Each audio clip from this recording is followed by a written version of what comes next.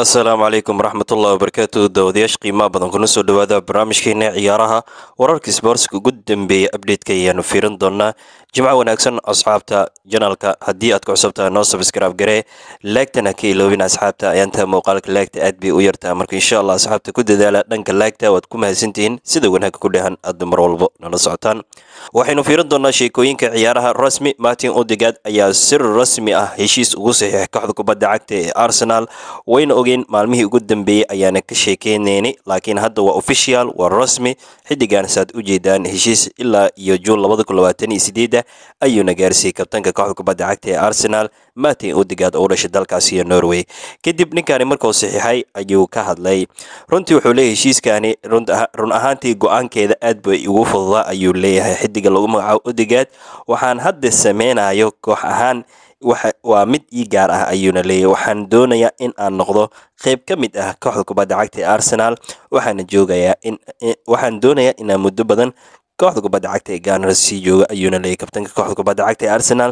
Heshiiskan inaa saxiixana koley wax adag ma ahayn way fududaa ayuu leeyahay xidigani haddana qadaraaska uu saxiixay ilaa juun labada kun labaatan iyo sideed ayuu ka dhigay. Kabtanka kooxda kubadda cagta ee arsenalna heshiiskiisana waa lagu kala baxay.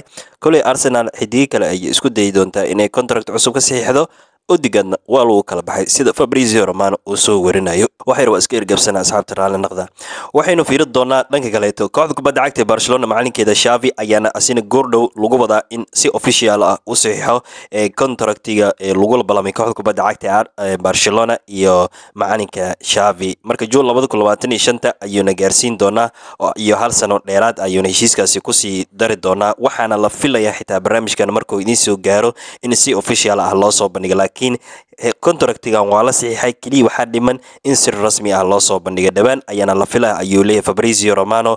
Marka haddii barnaamijka idiin soo gaaro oo ninkani uu saxiixo shavi koley waa marka dhanka committee ku soo qoro insha allah laakiin shavi asigana waa lagu wadaa in goordhow oo contracti kooxda arsen barcelona uu u saxiixi doono sida romano uu soo dhanka kale waxaa sii raacsan doonaa julian niglisman ayaa asigana noqon doona ama noqdayba tababaraha cusub xulka qaranka jarmalka marka ninkani dhowaan ayaa asigana si rasmi ah loogu dhiibi doonaa shaqada.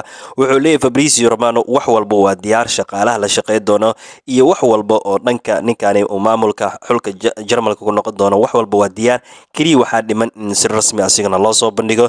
Niglisman dhankan iyo qaranka jarmalka ayuu asigana qaban doonaa. Marka heshiisyadana hadda aan ka sheekeyn doono waxaa laga yaaba barnaamijka markuu idiin soo gaaro in in la sameeyo waa laga yaabaa ama gelinka dabagalabta inay dhacaanna waa laga yaabaa. Marka niglismanna xulka qaranka jarmalka macalinkiisa ayuu noqday. Keliya waxaa dhiman in si rasmi asigana loo soo bandhigo sida romano uu soo daawacayo tababaraha kooxda kubadda cagta manchester united ninka lagu magacaabo ninka lagu magacaabo eric tenhag waxaa la sheegayaa xaaladda manchester ayaa si gaar ah shabakada daily mail uga hadlaysaa. Waxay leedahay ninkan lacago fara badan ayuuna ku bixiyay manchester united intuu ku sugnaa afar boqoloo milyan ayuuna ninkani lacaga ahaan manchester sii socotaa. Manchester xidigoodna ay la soo wareegtay kooxdana aad bay u sii xumaanaysaa. Markii loo eego xagaagii hore qarashaad fara badan ayuu bixiyey casemero iyo xidiga antony oo ka mid yaha ayuu keensaday. Laakiin saasay tahay kooxda waxay ku guulaysatay karabaya cab laakiin ciyaareedkani manchester waxaa looga fadhiyey in ee bandhig fiican ay ka sameyso tartanka premier league laakiin maxay bandhig ka sameysaa manchester united?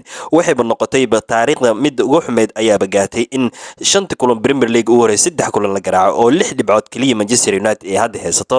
Marka waxaa la leeyahay ereg tanhag lacag fara badan waa la siiyey suuquu ku qarashgareeyey haddana xidigihii manchester iskuma toosna wayna sii xumaanaa. Marka xaaladda manchester united haddii ayna isla falanqeyna wax yar dhanka janaalka asxaabta ku xiran manchester maxaa ka qaldan? Ereg tanhag shax fiican wuu haystaa. Laakiin midna waa loo aaneyn karaa. Dhaawacyada badan kooxda manchester united dhibaato way u noqon doontaa iyo janton sajo isku dhaciisa iyo antony marka ereg tanhag maxaa xal u ahayo bal? Dhanka commentiga ka soo dhiibta manchester ciyaartooyna way haystaa ramsha shojla maxumo onana horta digey ayaa bakaroon ayaa la leeyahay. Marka maxaa ka qaldan manchester united? Bal dhan comitiga fikirkiina ka dhiibta sida dailyman ay soo qorayso. Dhigeeda kooxda kubadda cagta ee chelsea xaaladda manchester haysato la mid ayaa haysato kooxda kubadda cagta ee chelsea marka loo eego.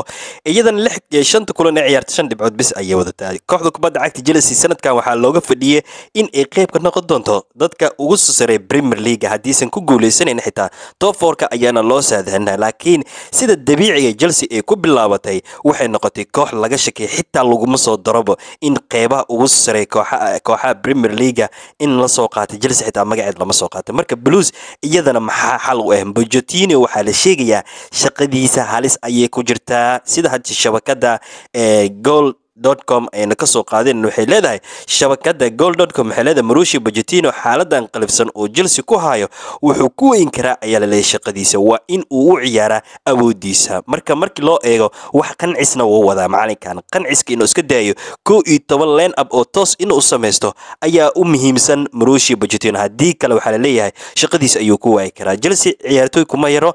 Haddana sidaas ay tahay dhibaato dhaawac ayaa jirta kooxda kubadda cagta. Chelsea waa mid la mid ah. Manchester united ayaa haysata laakiin si kastoo ay tahay dhaawac hadduu ciddiga ama ciyaartooy kaa maqan yihi waa in aad isbasaraysaa marka ciyaartooy chelsea kuma yaro ninkaan qanciska ciyaartooyda waa inuu ka daaya. Ciyaaryahan walba wuu nijibsan yahay waa la ogyahay. Laakiin kow iyo toban ciyaartooy line up hadduu samaysto xaaladan wuu ku gudbi karaa. Marka chelsea iyo manchester xaaladan ay ku jiraan waxaa u rajeyn doonaa in ay ka gudbaan.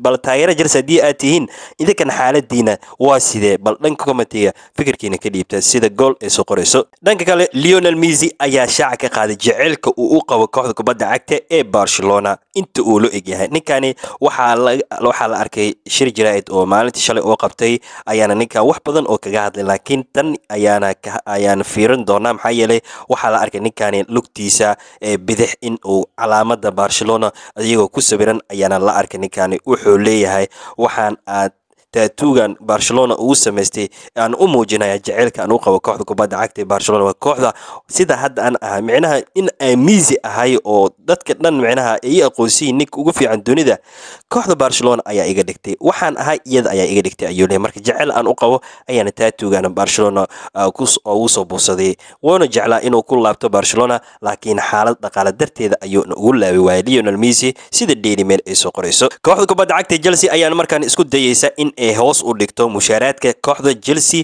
ay ku bixiso sannadkii. Chelsea lacaga fara badan ayaana suuq la geliyay tood bohle ciyaartooy badan ayuuna ciyaartooy badan ayuuna la soo wareegay. Marka chelsea xaaladeeda wayna ogeen afari tobanaad ayay ku dhamaysatay saanjecla ama labaiyo tobanaad sanadka hore.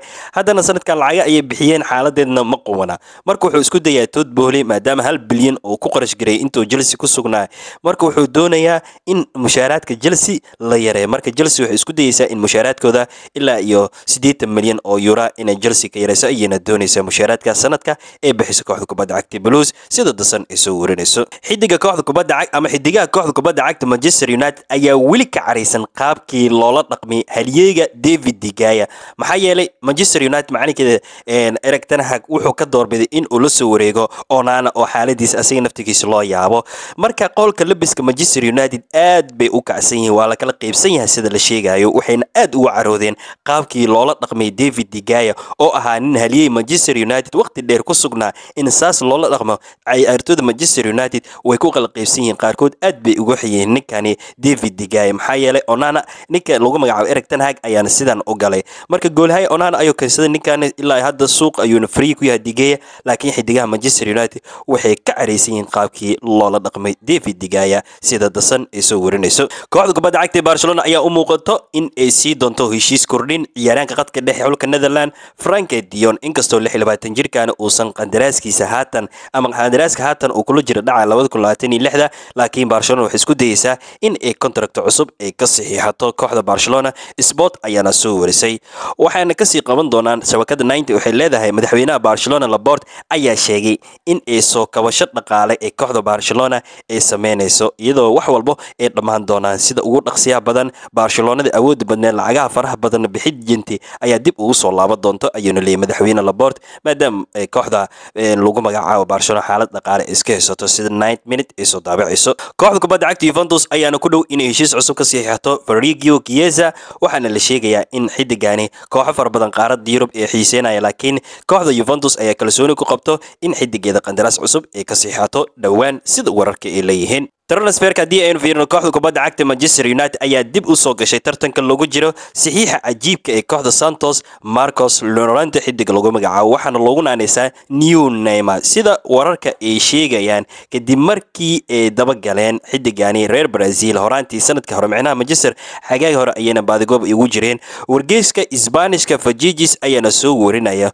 Macalin ereg tanhag inuu diyaar u yahay in uu xidigan uu yaraan labaatanka milyan ku fadhiyo inay soo qaataan in ku xoojiyaan dhanka weerarkooda. Inkastoo manchester united ay la soo wareegeen hoyland waxayna doonaan weeryahan kaleeto inay kooxdooda ku xoojiyaan.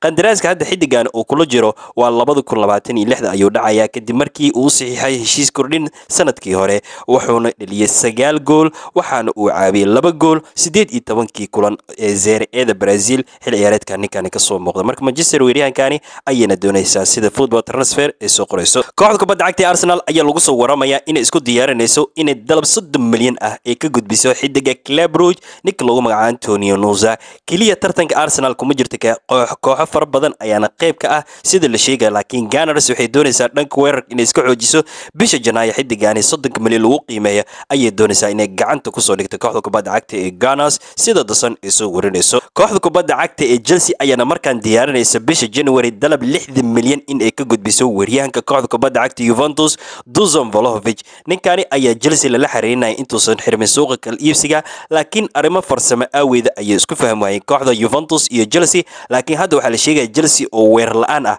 Waxay hadda doorbidaysaa in volovic xiisiisii dib u soo celiso. Bisha january ayayna u dhaqaaqi doontaa chelsea lixdan milyan ayayna ku doonaysaa chelsea inay ku soo qaadato. Inkastoo yuventus siddeetan milyan xidigan ay ku qiimeynayso sida fajijis ay soo warinayso. Toban iyo toddoba jirka kooxda kubadda cagta westham ninka lagu magacaabo davin masuka ayaa qarka u saaran inuu ku biiro kooxda kubadda cagta ee manchester city. Xidigan daayarka ayaana beb guardiola taageero u ah waxaana la sheegayaa xidigani manchester city in uu ku biiri doono sida romano uu soo daawacayo kooxda kubadda cagta barcelona ayaa xiiseynaysa weeryahanka jiron savio xidigani ayaana kooxda kubadda cagta barcelona ilgaar ay ku haysaa gobolka catalonia. Kooxda kawada dhisan ee ay iskala tisan yihiin jiron ayuu nagu ciyaaraa xidigani waxayna doonaysaa kooxda kubadda cagta ee barcelona in ay gacanta ugu dhigto bisha january. Inkastoo kooxa yurub qaarkooda ay xiiseynayaan way ku jirta xitaa xidigan inuu ku jecel yahay inuu maasita ku biiro laakiin barcelona ayaa dabagal ku hayso sida sport ay soo qorayso. Kooxaha kubadda cagta liverpool manchester united ayaa wajahaya tartan cusub ee lagu jiro xidiga khayban turam iyadoo ay ku soo biir tartankiisa kooxda kubadda cagta yuventus hadda waxaa la sheegayaa saddex kooxood in uu ka dhexeeyo waxaana la sheegayaa labaiy labaatan jirkan hore liverpool ee baadigoob ay ugu jirtay ilaa iyo juulaadii ugu dambeyso kala iibsiga ee lala xiriirinaya hadda waxaa la sheegayaa in yuventus tartankeeda ay ku soo biirto waxaana la doonayaa xidigani in ee dhowaan bisha janaayo ee saddexdani kooxood midkood uu ku biiro sida wararka ay leeyihiin. Kooxaha bayer mugen real madrid ayaana xiiseynaya saxiixa kabtanka kooxda kubadda cagta ee chelsea rhys james. Arrintan waa iska xan laakiin chelsea kabtankeeda real madrid ayaa aad loola xiriirina haddana kooxda bayer mugen ayaana ku soo biirtay macalinkiisa hore ee tugel ayaana xag uga horay sida fajijis ay soo qorayso. Kooxda kubadda cagta manchester united ayaa doonaysa inay iska iibiso xidiga garabka uga ciyaara koox dhanka xulka qaranka england iyo kooxda manchester johnson sajo oo toddobaatan iyo saddex milyan oo laba xagaag kaga soo wareegeen kooxda brushi dortmund waxay diyaar u tahay manchester united in ay ku khasaarto xidigan bisha janaayin way iska iibin doonaan sida shabakada star ay soo qorayso. Ugu dambeyn haddii aynu fiirino kooxda kubadda cagta chelsea ayaa war ah ka soo baxaya. Waxaa la sheegayaa chelsea in ay amaah ku diri doonto bisha january xidiga makhelo mudrig ninkan uu ku dhibaatooda kooxda kubadda cagta ee chelsea waxay doonaysaa in uu isoo muujiyo maadaama xidigan nijab uu ku jiro. Waxaana la sheegayaa shabakada fajijis ee leedahay mudrig oo labiy labaatan jir ah oo toddobaatan milyan in ka badan chelsea xagaagii hore ay kula soo wareegtay ayay amaah u diri doontaa bisha janaayo waxaana la sheegayaa ninkan xitaa weli gool rasmi ah tartan rasmi ah micnaha gool uma uusan dhalin kooxda kubadda cagta chelsea. Haddana waxaa lagu wadaa in ay chelsea amaah ay ku fasaxdo bisha janaayo wayna arki doonaa kooxda uu ku biiro. Intaa ayaan ku soo koobaynaa wixii ku soo kora barnaamijyadeena dambe ayaad ku maqli doontaan. Wasalaamu calaykum waraxmatullaahi wabarakaatu